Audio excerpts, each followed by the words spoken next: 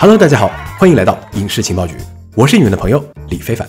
我们先来看一条漫威的新闻，《复仇者联盟四》国内定档于四月二十四日，提前北美两天上映。紧接着，官方又发出了三十二张解读生死的黑白海报，照片更是用彩色和黑白区分了生和死两个版本，简单明了的科普了现在 MCU 仅存的超级英雄。《复联四》在 m d b 上公布的片长为一百八十二分钟，如果消息准确的话，那无疑是漫威电影宇宙的片长之最了。一百八十二分钟的超级英雄电影，见过没有？哈哈。另一边，DC 也有新消息，扎克施奈德确认了《正义联盟》导演剪辑版已经完成。有消息称啊，影片竟然长达二百一十四分钟。鉴于扎导的导演剪辑版向来有化腐朽为神奇的功效，不少影迷都希望看见这个版本。但能否与观众见面，还是要看华纳方面的意愿。不好意思，论长度这波是我赢了。长有什么用？票房坚挺才是最重要的。好，接下来我们来看一下上周票房榜。比悲伤更悲伤的故事虽然评分低，但票房强势。仍以单周四点七亿位居榜首。相比之下，惊奇队长依旧排在第二名的位置。根据 Box Office Mojo 的数据来看，惊奇队长全球票房累计九点一亿，目前在漫威单人电影中排名第四，仅次于美国队长三。因为影片还在上映啊，最后的票房只会更多。紧随其后的是于谦的《老师好》，以八千二百万的票房位列第三。谦大爷素有相声皇后的美名，如今看来是可以封他一个电影皇后了。相影两开花，指日可待。说到皇后，我就想起了近期上映的《波西米亚狂想曲》。影片上映仅三天，国内票房就突破了四千万，全球更是累计八点八亿美元，这是 Box Office Mojo 有记载以来票房最高的音乐传记电影了。在之后的大众影评人环节中，我们会让嘉宾探讨一下这部电影，敬请期待哦。欢迎回来，我是李非凡。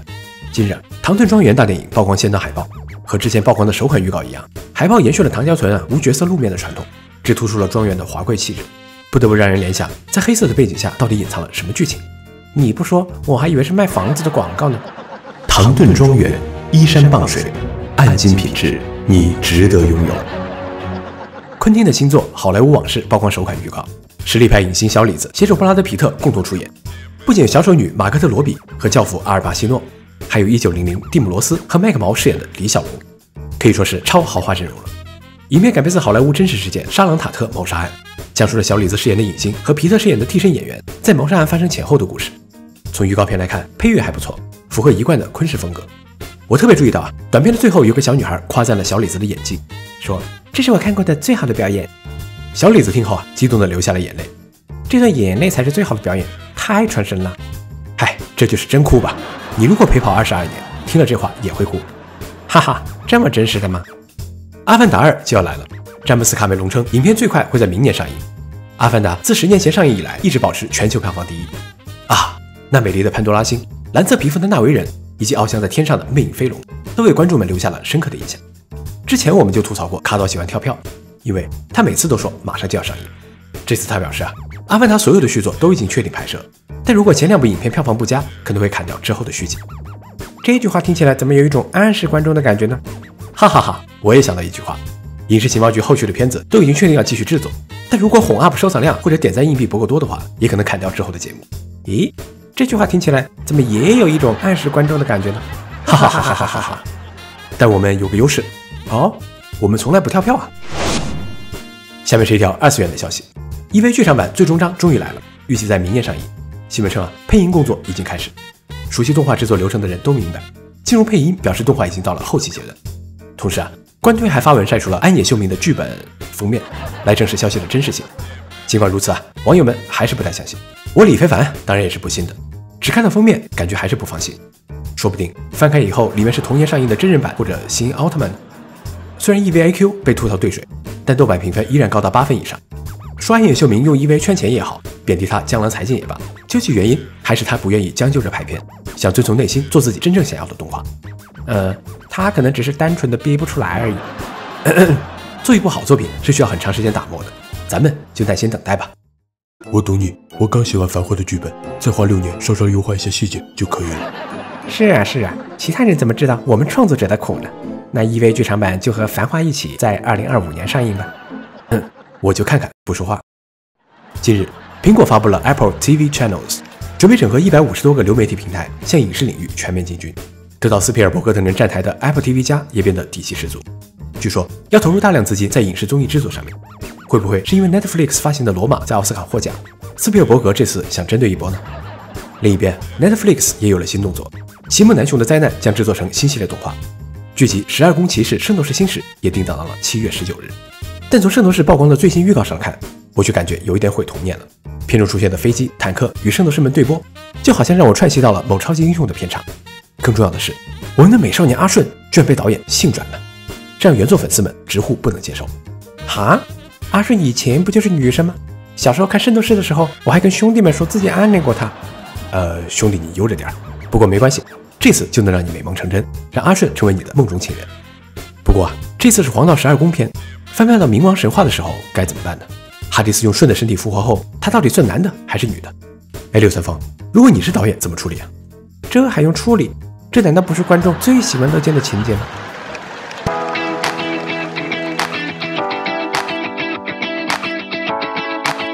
欢迎回来，我是李非凡。下面一个环节是大众影评人，在这个环节里，我们会让嘉宾分成两方，辩论一部影片到底好不好。这个环节的灵感来自于知名游戏《逆转裁判》，评审投票和嘉宾发言均不代表本节目观点，只是给大家提供一个讨论的平台而已。在上上期节目中，我们围绕惊奇队长展开了辩论，最后大众影评人给出的分数是六点三分。同时呢，我们节目组在木鱼的微信公众号上也发起了一个投票，在一千三百九十二名网友打分之后，惊奇队长最终得分是六点五分，可以说是非常接近了，这比大众评审员的分数略高一些。那么问题来了，应该如何参与投票呢？还等什么？赶快打开微信扫一下吧。本期节目的话题是《波西米亚狂想曲》，这是一部关于皇后乐队主唱弗雷迪的传记电影，而参与辩论的嘉宾分别是铁面上司苏菲以及不值一提柳三丰。大家好，我是没时间，我现在就在愉快飞销公司的会议室。苏菲和吕三丰正在准备抽取各自的立场卡，让我们看一下结果如何。苏菲姐，好久不见呀，最近在忙什么？啊，也没事嘛，主要是得了鼻炎，一直在休息。鼻炎？对啊，上次参加完你们节目之后，突然就老打喷嚏，很莫名其妙。听说苏菲姐以前是搞音乐的，这次辩论的题目又是和音乐相关，你作为反方，是不是不太好发挥呢？还行吧，这是多少年前的事了，不提了。其实啊，辩论这种形式啊，只是为了帮助大家从更多角度思考这个电影，而不是用来判断电影的好坏。所以，我喜欢音乐这件事，并不影响我作为反方全力参加辩论。刘三丰，你对皇后乐队了解吗？不是太熟悉，只是听过几首歌罢了。那你这次抽到了正方，准备怎么办呢？我觉得想要夸这个获得了四项奥斯卡奖的电影，应该挺容易的吧？哎，任何影片都会有优缺点，这个我一点都不担心。只不过奥斯卡也不代表绝对正确，不是吗？尤其是近几年的奥斯卡。好的，采访完毕。接下来正反方将有三天准备时间，在那之后，他们将在现场一较高下。好的，谢谢没时间，我们马上开始本期的话题《波西米亚狂想曲》。本期节目啊将会出现一些剧透，请大家酌情观看。因为电影还在上映，我们就简单说一下剧情。那么还是请出木鱼水星。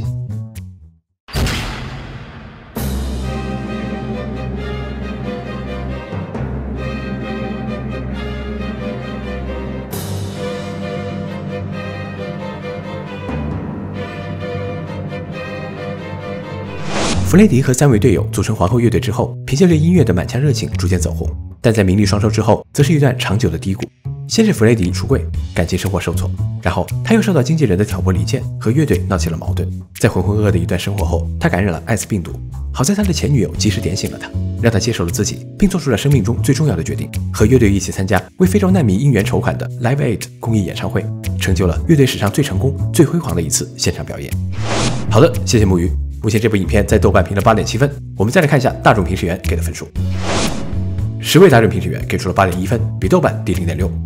哎，没时间，你有没有发现我们的评分好像总是比豆瓣低？好像真是哎，可能大众评审员都比较严格吧。重申一下规则，大众评审员一共有前后两轮投票，如果后一轮大众评分高于第一轮，正方胜；反之，反方胜。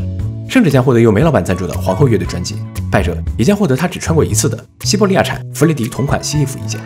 好了，双方都已经有立场了，下面开始立论环节。首先从正方柳三丰开始，《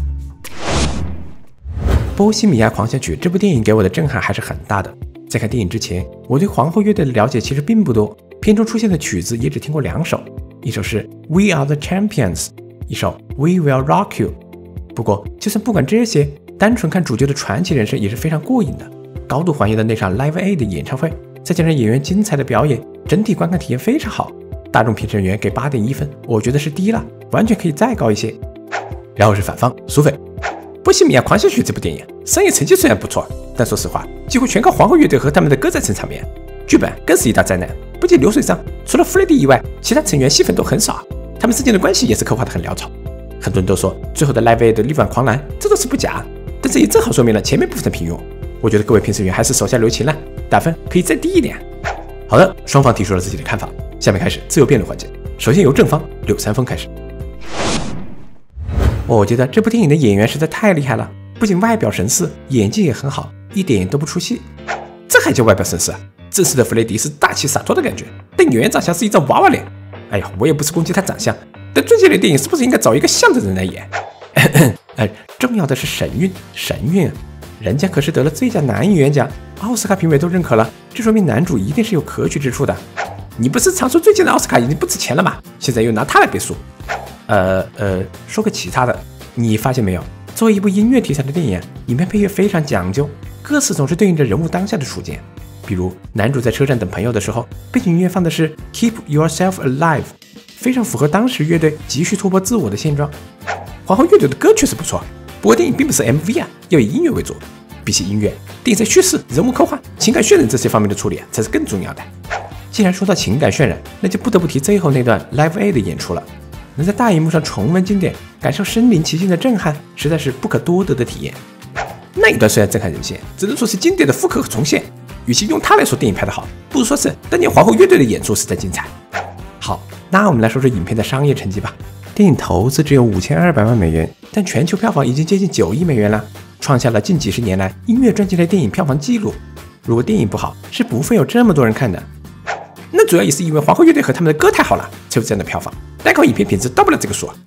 哎，话不能这么说，乐队粉丝毕竟是少数，像我这样的路人观众才是主力军。全世界有那么多人通过影片了解了皇后乐队，知道了他们的故事和摇滚的精神，已经有巨大的社会效益了。这对摇滚、对音乐都是一件好事。好吧，就算看的人多，票房好，你也不能否认影片的剪辑有问题吧？有些情节剪得太碎了，中间缺了剧情，感觉串不起来，很影响观感。比如弗雷迪向妻子出柜的段落，前一秒还在好好的看着电视，下一秒直接要离婚的节奏，中间是不是少了点什么？另外，你录专辑就好好录，没有必要那么快速的切换画面，脑袋都看晕了。你说的第一个例子是因为国内公映版去掉了一些片段，所以有些怪。而第二个例子，有人脑袋看晕了，我觉得剪得很好啊，伴随背景音乐踩点，从鼓到铃铛的匹配转场应有尽有。更重要的是，这种凌厉剪法具有快节奏。很容易让观众把乐队的四个成员当成一个整体，从而展现他们之间的默契。另外，虽说奥斯卡评委的标准漂浮不定，但毕竟是最佳剪辑，大问题应该是没有的。剪辑得考虑观众的体验，电影是大众的媒体，不是用来炫技的。其实啊，头晕这也是我亲身经历的，当时我身边就有个人看晕了。而影院版本确实没把故事讲清楚啊，这你不能否认。我们评审员打分也是按照国内公映版本来的。好的，时间差不多了，双方已经交流了部分意见，我们来看看大众评审员有什么看法吧。嗯，我其实觉得柳三丰确实有一定道理，但我很感谢苏菲说出了一般观众的体验。其实，呃，我就是那个看着有点晕的人。当时苏菲在我左边，完全没事，却留意到了我的不舒服。电影结束后，她还请我喝了一杯可乐，所以我支持苏菲姐。首先啊，我没有听过皇后的歌，但当时我就在苏菲姐的左边。在最后 Live A 的那段，苏菲姐一直吐槽观众举起的巨大 YouTube 横幅，又紧紧地握着我的手，激动的不行，手心都出汗了。我的情绪也被带起来了。电影啊，是真的不错。哈哈，好的，看来正反方都有自己的支持者。我再重申一下，嘉宾发言与评审员打分均不代表本节目观点，只是给大家提供一个讨论的平台而已。那么，让我们马上开始下半场的自由辩论吧。《波西米亚狂想曲》这部电影的剧本太流水账了，前面走马观花的说了一下什么时间发生了什么事，然后用几首歌带过，省略了很多重要的内容，感觉在看一个不走心的 PPT 啊。比如美国巡演那一部分，直接用年代带过了，好像完全没有遇到困难，不知道他们是怎么火起来的。这样做的处理其实无可厚非啊。传记电影免不了这种快速略过事件的操作，不然电影直接三个小时起步太长了，而且和音乐发行人互掐，不就是一个困难的缩影吗？你说的这个已经是成名之后的事情了。退一步讲，就算有挫折描写，那我也只看到了一个行事风格迥异的怪人，他在音乐上的挫折和付出没有体现。虽然影片用了很多金曲，但在电影创作这块用笔却很少。一般业界都认为，生活相关的剧情是比较好拍的，音乐灵感之类的比较难拍。波西米亚狂想曲想拍一个音乐人，却没有在音乐上花更多篇幅，我觉得这算是一种偷懒和取巧吧。呃，这种灵感的东西本来就比较难以具现化。我觉得在农场录制波米那部分剧情，已经很能体现乐队的灵性以及他们对音乐的高要求了。那篇幅还是太少了，这里的情绪完全被他们和音乐发行人争吵冲散了。而且你不觉得看完电影之后就记住弗雷迪一个人吗？明明是皇后乐队的传记片，电影却只着重刻画了他一个人，其他乐队成员描写非常少。我不明白导演为什么要这么做。呃，如果要讲述他们的故事的话，影片线索就会非常多，电影会很复杂，也会很长。像现在这样，用一个主要人物引出各种事件是最合适的解决方案。如果是这样，那我觉得电影在简化的同时，也沦为了一个套模板的产物啊，走了那种成功、失败再成功的老路，实在是很可惜啊。如果真有人这么认为的话，可能是没看懂这部电影的主题，是吧？影片的主题不就是人要承担起自己的社会责任吗？比如一开始，弗雷迪非常叛逆，又是改名，又是嘲讽父亲的，甚至连自己小时候的经历都可以回避啊。但他后来想明白了，自己被那么多人爱着。他也应该回应大家的这份关爱，承担起自己的社会责任。于是，身患重病的他决定参加 Live Aid，为非洲难民和慈善事业出一份力，成就了伟大的演出。呃，你说的不全对，我倒是觉得电影想讲一个学会接受自己的主题。就像你说的，他不愿意提起小时候的经历，不愿意提起自己的种族身份，说明他很自卑。但自卑、叛逆也好，不愿承担社会责任也好，只是一个表现形式。他根本上是没有接受自己啊。比如自己的性取向，比如自己是印度波斯人。比如自己有龅牙，片中吉姆有句台词说：“等你决定喜欢自己了，再来找我。”也是在说这个问题啊。后来前女友雨中的一番话让他幡然醒悟，决定成为生来注定要做的人，终于让他接受了自己的一切，不管是优点，还有自己与生俱来的缺点。他重新爱上了自己，不再伪装，所以才能面对那些诋毁，为那些爱自己的人唱歌。正如啊，他最后歌里所唱的：“我刚刚杀死了一个人”，其实就是说自己。但接下来他又唱：“人生才刚刚开始。”台下的观众被感动了，我也被感动了。好的，眼看时间也差不多了，让我们进入总结陈词吧。由正方开始。《波西米亚狂想曲》这部电影完成度很高，给人的体验非常好。我作为一个路人观众啊，一方面通过电影了解了皇后乐队的事情，另一方面也感受到了摇滚的魅力。摇滚的精神并不是固定唯一的，每一支乐队、每一首曲子都有它独特的思想表达，爱与和平也好，对社会的反叛也好。总之，电影让我知道了。摇滚并不是一种单纯的流行音乐形式，摇滚是很严谨的，而且可以表达伟大的思想。这种思想鼓励了无数在生活中面临挑战的普通人，让他们拥有了勇气和力量。看完电影后，这种精神也鼓励了我。对方认为电影依靠皇后乐队的名气火了一把，我觉得这是一个双赢的事儿。一方面，电影获得了不错的票房；另一方面，也让更多的人了解了皇后乐队啊。正是为了大部分人的观看体验，影片采用了浅显易懂的叙事方式啊。我觉得这并不应该成为被指责的地方。音乐是很纯粹的东西。电影也一直在往这个方向努力，我觉得这部电影的评分应该更高。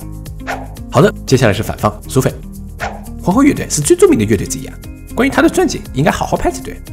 影片讲述的事情跨度很广，但在叙事上太蜻蜓点水了，省略了很多乐队成名之前的内容。最重要的是，电影几乎没有刻画主角在音乐上遇到的挫折，这对于一个音乐传记片来说无疑是致命的。当然，影片还把乐队里的其他角色边缘化，只刻画了弗雷迪一个人的生活，难免有些遗憾。皇后乐队从来都不是一个人。片中弗雷迪也说了，他不是乐队的领导者，只是主唱，他们是一个团队。而影片的个人主义处理和这个精神不符啊。另外，历史上的 Live Aid 本来就很经典，电影重现这段演出并让观众感动，并不能证明就是电影拍的好，反而说明皇后乐队当年那段演出确实完美。我作为一个喜欢音乐的人，听到最后那些熟悉的旋律，确实很感动。但这并不能遮掩电影本身存在的问题。各位评审员打分的时候应该再严格一点。好的，感谢二位。接下来，请大众评审员拿出自己的打分器。并慎重地投出你的评分。我们先来进一段广告。二舅二舅，你关注了木鱼水星的微信公众号吗？哎，你二舅母早就帮我关注了。我们全家最爱看的就是木鱼水星。好了，我们来看看评审员的最终给分吧。最终得分是八点三分，比第一轮高零点二分。恭喜这次的胜利者是正方柳三丰，他获得了由梅老板赞助的皇后乐队专辑一张。而苏菲也将获得梅老板只穿过一次的西伯利亚产弗雷迪同款西服一件。苏菲姐，你这次击败玉柳三丰有什么感想吗？哎呦，丰兄还是很强的，我这次输的也是心服口服啊。不过这奖品是什么臭男人穿过的东西，我可以不要吗？呃，那要不给我吧，看着还挺新的，别浪费了。下个月我大舅结婚，刚好可以穿过去。你要就拿去吧，可惜这次我没赢，我还蛮想要专辑的。啊，苏菲姐不用担心，我一定会想办法去其他地方买给你的。哼，让我想个办法，怎么从柳三丰那边搞过来送给苏菲姐，她一定会很高兴的。啊，苏菲姐喜欢的话，我给你就是了。那么以上就是大众影评人的内容了。在情报局的最后，让我们再来看一下近期会上映的电影吧。《海市蜃楼》，西班牙导演奥利奥尔·保罗执导的最新作品，讲述了电磁风暴连接了两个时空，人物命运互相交错的故事。不同于前作看不见的客人中缓慢的铺垫线索，影片采用的是惊险刺激的现实营救式结构。其中蝴蝶效应、平行时空等软科幻元素的加入，使原本就复杂诡谲的故事更加烧脑。如果对悬疑片感兴趣的话，是一个不错的选择。小飞象由指导过《爱丽丝梦游仙境》的蒂姆·波顿担任导演，科林·法瑞尔、伊娃·格林等影星联袂出演，讲述了因为一双大耳朵而遭人嘲笑的小飞象德波，在众人的帮助下逆风翱翔的温暖童话故事。但影片在烂番茄新鲜度百分之五十一，Metacritic 综合评分五十三，很多人都说他剧本处理上不够成熟，人物塑造一般。当然，视觉特效保持了迪士尼的一贯水准，所以啊，到底如何还是要去影院看看。人间喜剧《艾伦王治》继《夏洛特烦恼》之后的再次合作，两人饰演一对怂夫悍妻，讲述了主人公因为交不起房租，意外成为绑架犯的故事。对于商业大佬和黑帮老大的轮番刁难，傻春是否可以应对自如呢？好了，本期的影视情报局就到这里。如果想看到最新的影视资讯、劲爆的影评观点和有趣的吐槽，那就请持续关注影视情报局吧。喜欢的话可以多多点赞、收藏、分享哦。我是你们的朋友李非凡，下期再见。